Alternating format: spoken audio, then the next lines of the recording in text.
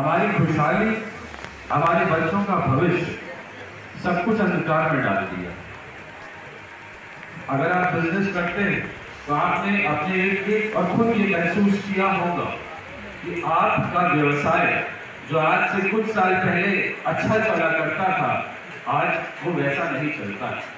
चाहे आप जो भी बिज़नेस करते हैं, किसी भी स्केल पे हो, छोटा हो, बड़ा हो, बहुत बड़ा हो, बहुत छोटा हो, लेकिन वो जिस तरीके से कुछ वर्ष पहले चलता था, आज वो वैसे नहीं।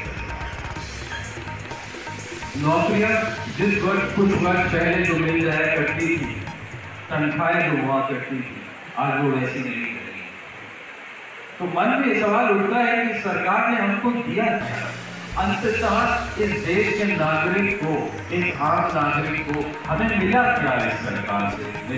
इतने सालों में हमने जो देखा है दो हज़ार चौदह के बाद से जो दौर हमारे देश में आया है उसमें हमें क्या क्या हमारे उस शहर में जिसमें हम निवास करते हैं, क्या वहाँ अस्पताल नए बनाए गए? मैं आपसे पूछता हूँ 2014 में भारतीय जनता पार्टी की सरकार आई।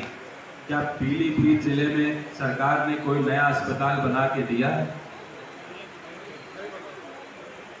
मैं आप सबसे पूछ रहा हूँ, जवाब दीजिए, क्या बना है? नहीं बना।